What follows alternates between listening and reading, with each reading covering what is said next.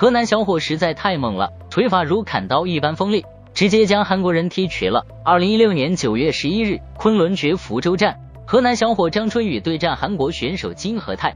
自从上次金世基被死神方便 KO 之后，韩国人总是想方设法的要找回场子。此次又派出了他们的顶尖高手金和泰。金和泰在韩国号称打不倒的男人，其意思也很明显，那就是没有人能够将其击倒。而且赛前也是放出话来，他们韩国人才是世界第一，中国的武术都是花花架子，不堪一击。碰到了他，统统都得被 KO。比赛还未开打，口气就如此的狂妄，看来韩国这次是下了血本的。我们也不含糊，派出了悍将张春雨迎战。张春雨出生于武术世家，自幼接受传统武术的熏陶，打法正规，一板一眼。后来又只身前往泰国进行苦修。大家都知道，泰国打拳那都是出了名的不要命。在泰国训练的张春雨，也必然不会让人失望。长按点赞支持一下张春雨吧。蓝方来自韩国的金和泰，红方张春雨。呃，张春雨这次是降了一个。比赛铃声敲响后。张春雨以两个又稳又准的直拳，率先打开了比赛的局面。韩国人挨了两拳也不学乖，还是继续往前压。面对咄咄逼人的韩国人，张春雨又一个大力的扫踢。这位号称打不倒的韩国人，也是一屁股躺在了地上，十分的狼狈。韩国人站起身后，张春雨哐哐又是两记直拳，稳稳的命中了对手的面门。他的拳头犹如一杆精准的狙击枪，总是能够透过韩国人的防守，给其施加伤害。感觉金和泰报价太开太散，而且在他不能很好的预测对方的动作。你看对方出拳的时候，他基本上没有任何的上身、手和头的动作。对，但是没有。但是我觉得像韩国日韩选手、韩国选手像这样的，呃，还是不能太小看他，因为比赛刚刚开始。而且像他这种体型的，在韩国选手呃里面很多肌肉类型不是很发达，但是他的这种节奏跟粘性啊特别的强。你看张春雨每次的前手刺拳都能够把对方的头打得明显的后仰位移，是因为张春雨又是一个直拳，再次命中了韩国人的面门。看你还敢嚣张不？随着比赛的深入，韩国人求胜心切，张春雨也是发现了这一点，就等着对手突进中近距离，他的前手直拳就犹如毒蛇吐信般，不断的对韩国人进行着点刺，一旦对手近身就用膝法。韩国人完全就沦为了一个活靶子，十分的难受。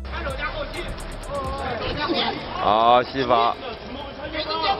我们知道张春雨在昆仑决啊出名的一战就是跟我们的泰拳王子波球有一战，力战三局啊。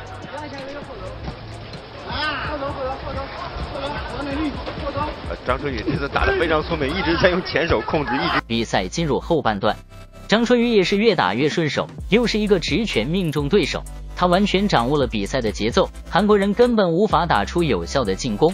没错没错，韩国选手金河在现在根本就任何动作都打不出来。看前手又被命中。啊，好不容易金河在打出一套组合拳。基本上张春雨出前手接近于必中了，这个命中率实在对。基本上一出就有你。呃，将近百。比赛临近尾声的时候。张春雨一看时机差不多了，突然接连几个是大力沉的低扫腿，韩国人难以抵挡，蹲在绳脚苟延残喘。裁判对其进行读秒，裁判在观察了两秒之后，马上进行一个读秒。那个低扫是非常的重啊！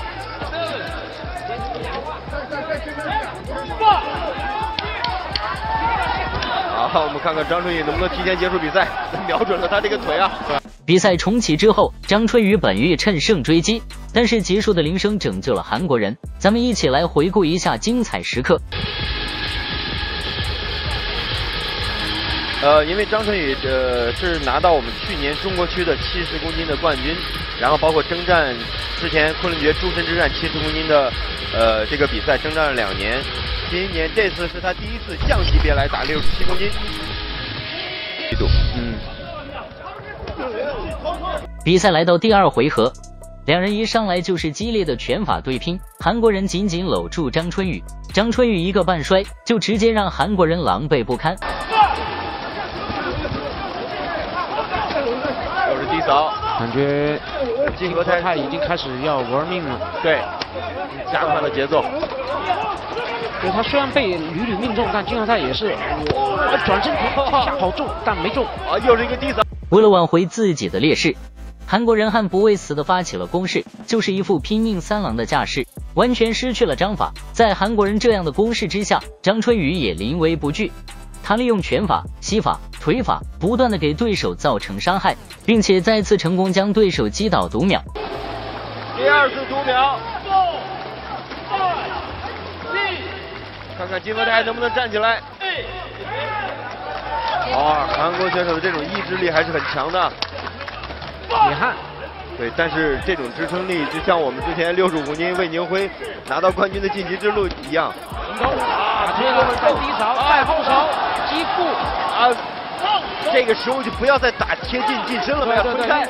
因为你近身一旦被对方搂抱，啊，休息的时间。对，一定要这你就拉到中远距离，该怎么打就怎么打。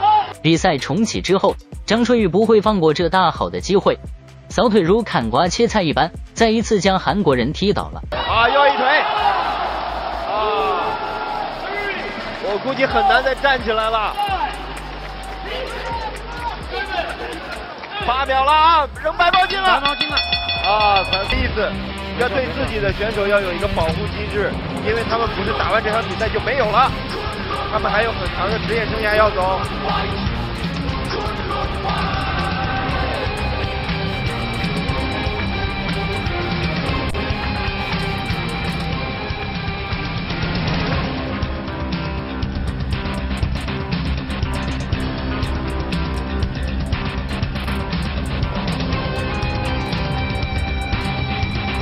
在裁判读秒结束之后，金和泰的意识还不是很清醒。裁判见状叫停了这一场比赛。张春雨以 KO 的方式狠狠的教训了嚣张的韩国人。大家喜不喜欢张春雨这位选手呢？欢迎在评论区留言。